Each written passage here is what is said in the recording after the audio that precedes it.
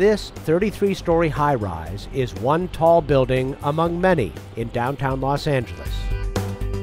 Like most, it is wired up with earthquake monitoring sensors. In Los Angeles, it's mandated that quote unquote tall buildings be instrumented. They're often tucked away where you wouldn't even think to look for them. Well, the big one we all know is going to come. And in Southern California, uh, there's an expectation that it, it's overdue. With support from the National Science Foundation, structural engineers John Wallace and Henry Burton from UCLA are exploring new ways to build resilience into urban clusters, dense cityscapes packed with tall buildings vulnerable to earthquakes, like in downtown Los Angeles. What I consider the 21st century challenge is being able to engineer earthquake resilient communities. And by resilient, what we mean is uh, in the event of a major earthquake, we're able to minimize the initial impact, adapt to any major changes that happen as a result of the earthquake, and recover in a timely manner.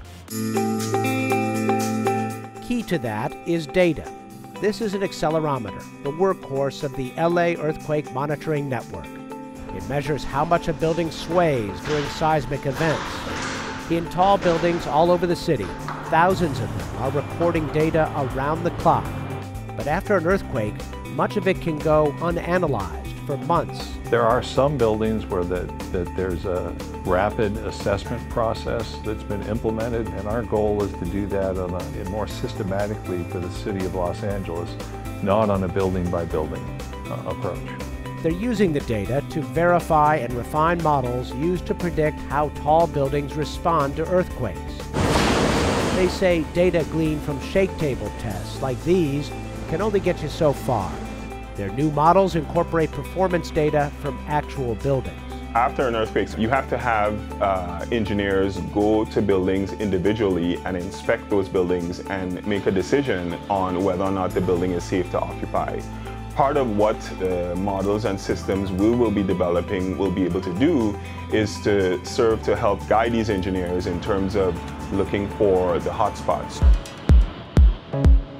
Burton says the challenge to building more resilient urban centers is for engineers to think beyond the structural performance of any single tall building. They need to be part of a coordinated response. So even if the structural integrity is maintained, as you if you can't get to the building, if there's no water, if there's no power, if any of the non-structural components have been damaged to the extent that it can't be used, then the building will not be functional.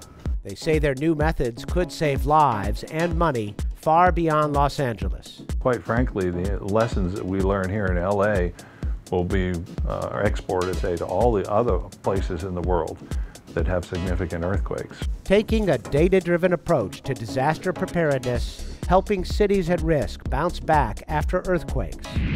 For Science Nation, I'm Miles O'Brien.